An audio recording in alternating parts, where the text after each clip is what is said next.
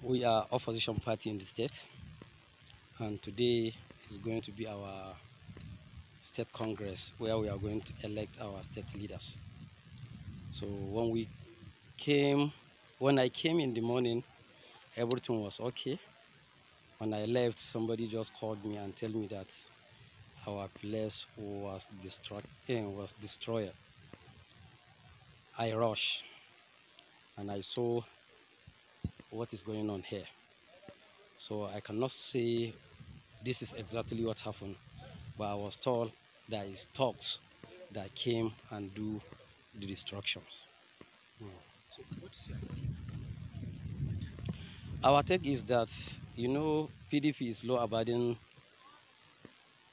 um, party, so we are going to investigate and find out who are those talks and who is behind them.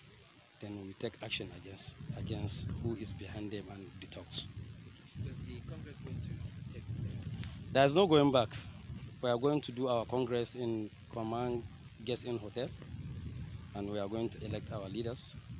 And by God's grace, we are going to reposition ourselves and become the opposition party in the state, and we will do the work of opposition party in the state, inshallah.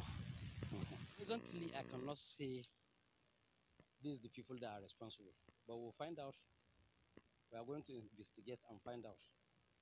Uh, if we find out, we are going to take action against them, inshallah.